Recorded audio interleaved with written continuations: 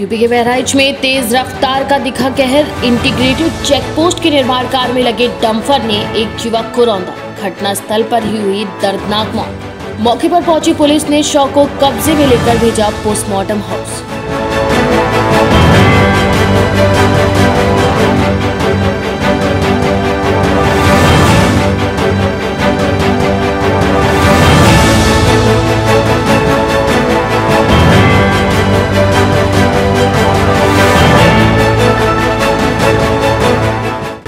बहराइच से आमिर अली की रिपोर्ट।